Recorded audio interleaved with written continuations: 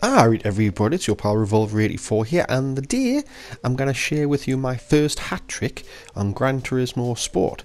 And what do I mean by hat trick? I mean a perfect race which is a pole position, fastest lap, and winning at the end is uh, is the best driver, the first driver.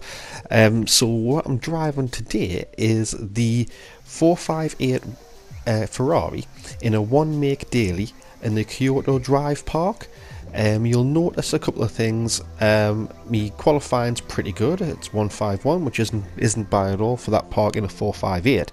Um, I keep my TCS on three uh, because 458s tend to uh, want to move um, to the to the to the outside. They tend to oversteer a bit, and they're they're a bit um, back heavy. They like to try and pull the back in front of you and spin a little bit. So because it's quite a fast track, and uh, it, ha it has a few tight corners in it. Uh, I've got the TCS up quite high, which is unusual for me. Uh, I'm still using my G29 uh, steering wheel, and uh, yeah, this is the this is the race. I uh, hope you enjoy it. Let us know what you think in the comments below. Don't forget to subscribe and hit that bell button. All the best.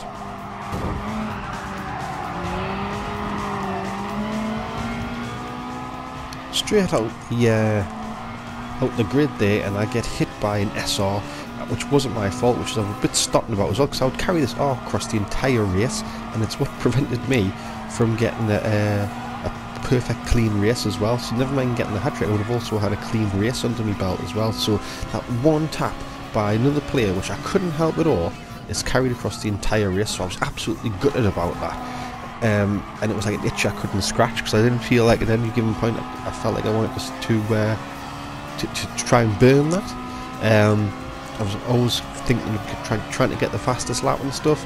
Um, so yeah, I hope you're, you're going to get used to having that slow down warning on screen because you're going to be looking at it for a while.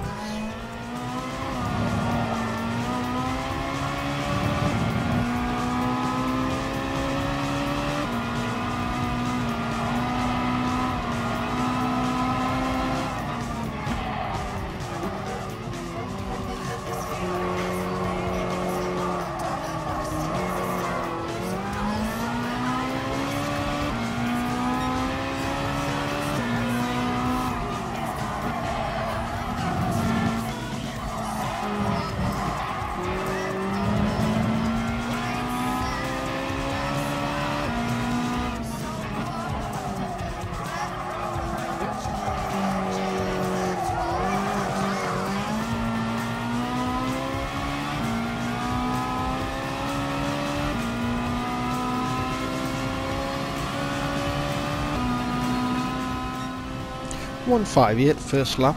Um, not not great, um, but not the not the worst. I, am still in in the lead, and I'm slowly pulling away from the pack. So uh, so not bad, but I definitely know what I can do faster.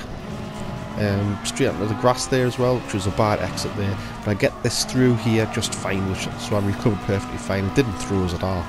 Looking looking good so far.